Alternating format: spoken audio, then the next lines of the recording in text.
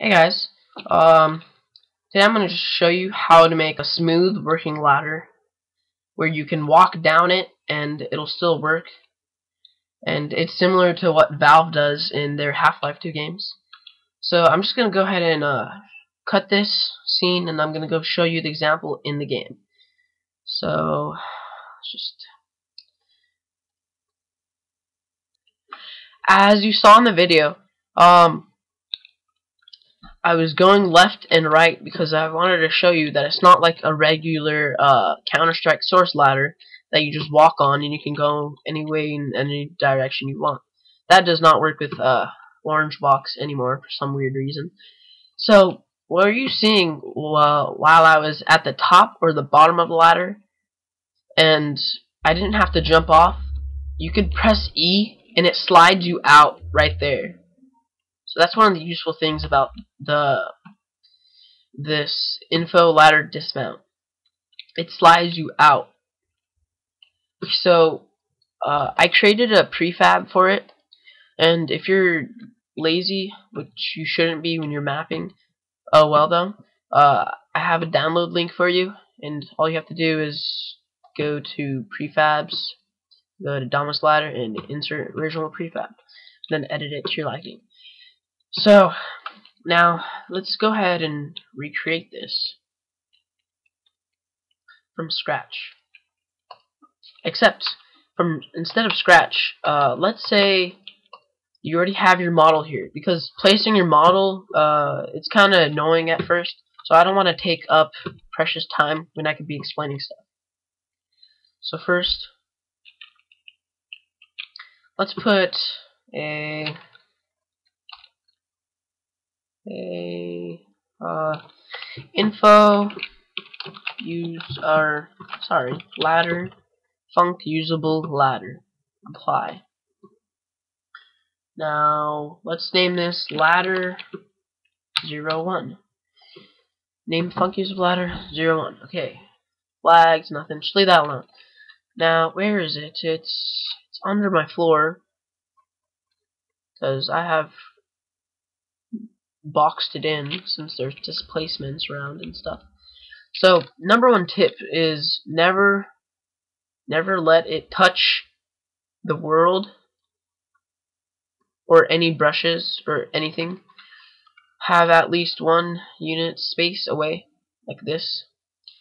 Now if you can't see this little circle thing here then click this little globe at the top right by run map.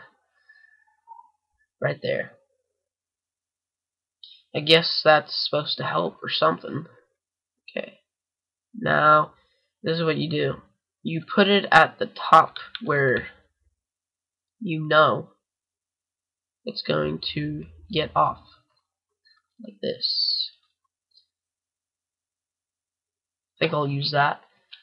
And then I'll go ahead and save this because just in case. Now that we have that, we're going to create three different new entities and three up here. Now I'm going to drag all of those out of the floor. I'm going to set my grid to 4 because it's annoying right now. Maybe back to 2 because I have to anyway. Okay. Now, uh, go to info ladder dismount. Ladder name should be the ladder name we set for this yellow thing here. And that should work. Now, before we even get close to finishing anything, we should fix this. I think I'm, I'm doing this wrong for this part because the ladder, ladder model, yeah, okay, no, that's fine actually. Because sometimes the ladder model can, if it just touches it, then it will not work ever again unless you fix it. Same applies up here.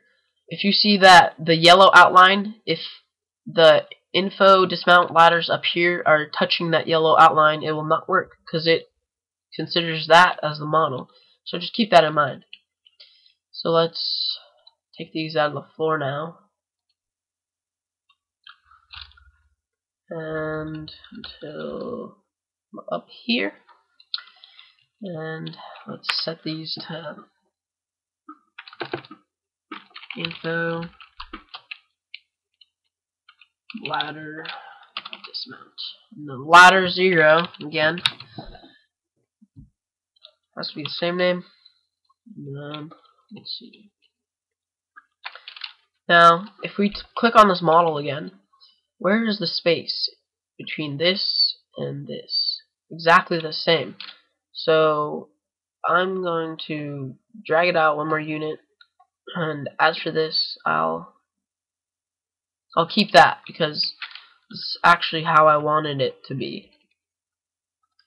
Maybe I'll put that in, put this one out one, just to match with that or something. It's all weird, but in the end it works and it's perfect compared to the Counter-Strike source way.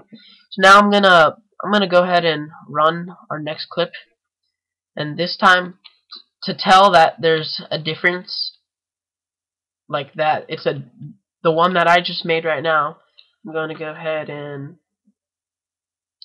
go ahead and overlays. I'm going to go to Boon my custom textures.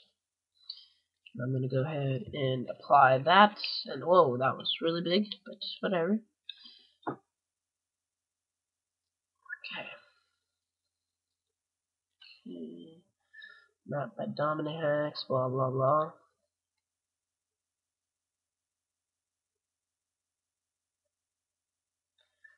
And yeah. Also, uh, yeah. If you guys don't know what this is, this little this thing's called info overlay. It's much more convenient than uh this applying decals because what this does is this puts it only on one side, while applying decals, it puts, it puts it on both. Plus, overlays, you can resize the texture you can without distorting it, and you can do other stuff too. You can resize it, you can flip it, or do other stuff. Um, yeah, so now I'm gonna go ahead and compile, and I'm going to skip this part. Uh, this has been a Source SDK tutorial by Dominic Hax, and I think this is the simplest and the easiest way to make ladders in Half-Life 2 games, and it is recommended by Valve. And this is actually how they make all their ladders. Uh, there are no ladders in Team Fortress 2, so you'll have to look up for another tutorial, or maybe in the future I'll make a tutorial on that. Maybe. Not guaranteeing it, but you know. So yeah, thanks for watching. Uh, subscribe, I guess. I don't only do tutorial videos. I do gameplay videos. I do walkthroughs, I guess you could say. I just post videos that are pretty cool and useful, I guess, to the community. So yeah, see ya.